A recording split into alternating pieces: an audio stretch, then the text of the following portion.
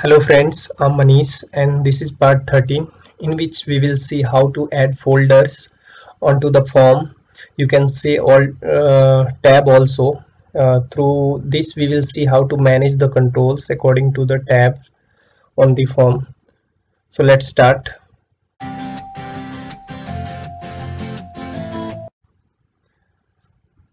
So let's open Screen Painter and open your srf for xml as i have designed earlier it. I'm opening this custom order srf you can see. And for adding tab what i will do i will add a rectangle box first and i will drag down and then shift plus down key now shift plus. Right arrow key. You can also click on this corner and can drag. Yeah it's fixed. And then I will add a folder. One is for general tab and another one is for address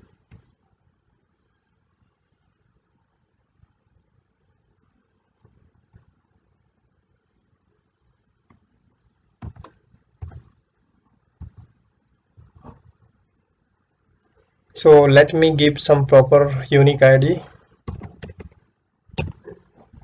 tab underscore 0 enter. Give pin value. Make it true. Caption. Enter. True. And the alias. We have done with it now move to the second tab. Then pin value would be 2 data bound true. Caption. Address. 2 folder 2 so now we will decide which controls should come inside which tab. So I'm put, going to put matrix inside the general tab let me give unique id for it. Okay. Now i'm going to put matrix inside the general tab. So what i will do i will do i will set from pane and to pane value which is already set by default. That is one. One means general. And as you can see here pin value 1 so we have bind matrix with a general tab as I have put it from pane and to pane value 1 so for second tab we are going to add some controls like label. So I'm going to add this label and giving the caption address and meaningful unique ID and from pane and to pane value as it would be 2 because it is going to visible inside the address. So put here to enter control s. I'm going to take one more control static text box. So and bind it with a table at the demo underscore ordr we have created this table earlier and the field name is u underscore address.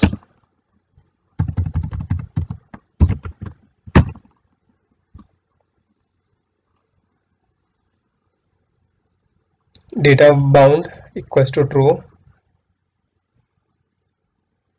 and from pane value and to pane val value would be 2 because it is going to be visible inside address tab.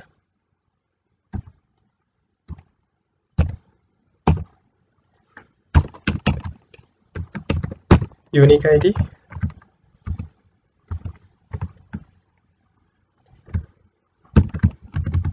bind it with label.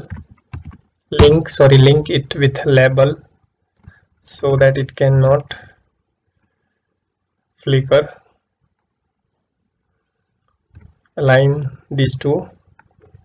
We have done with this. So we have added successfully. Let me preview. So you can see in general tab it is only matrix and in address tab you can see. Let me do this properly because it is going outside the rectangle. So you can see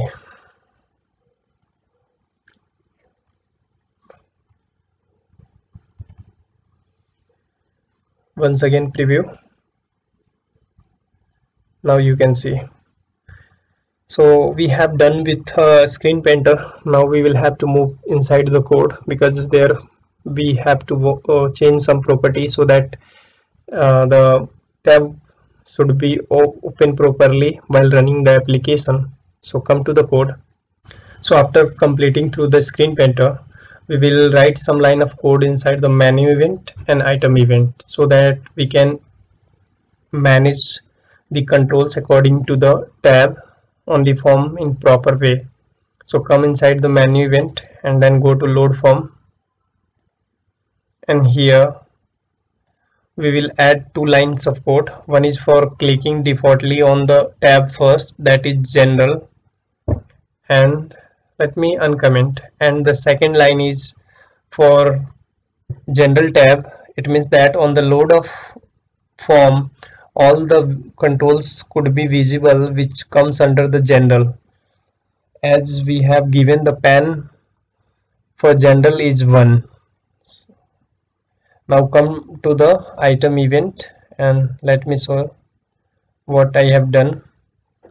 So I we will add these line of codes inside the item press event item press after event. So for after event I have set the before action property as in false and then checked is it a item press event? If it is I have checked the item unique id if it is tab underscore zero it means a general tab then will set the property pane level equals to 1 so that all the controls coming inside the general tab can be visible.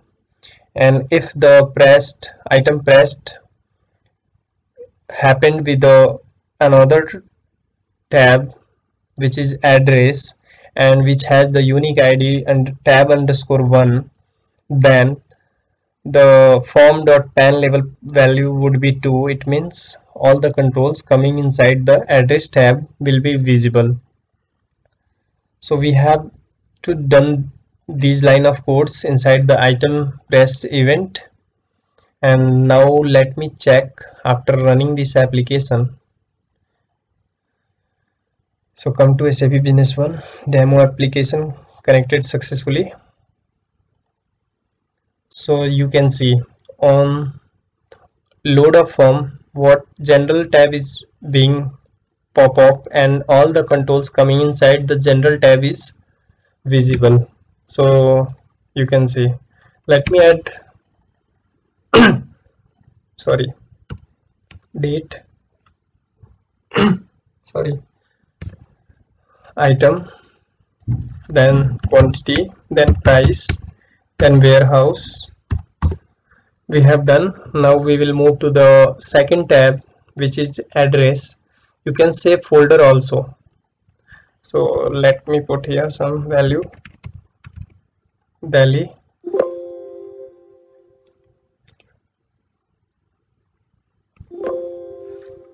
So this is the numeric type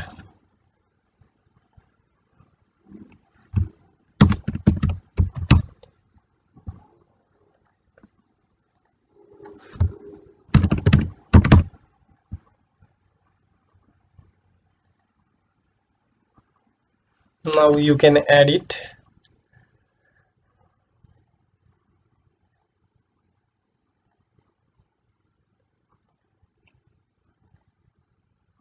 And move back. You can see the data. I think this field is not bounded with a field. That's why uh, it is giving wrong value. System information. So check it so you can see this field is not binded what happens sometimes some value from the property in srf or xml removed. So let me check inside the srf and for this I'll move to the srf file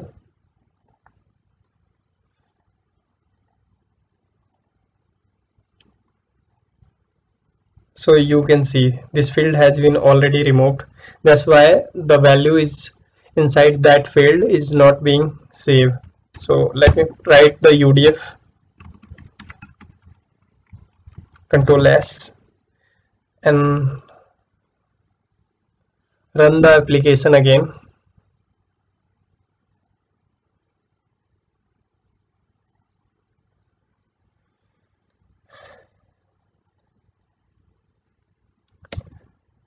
select business partner date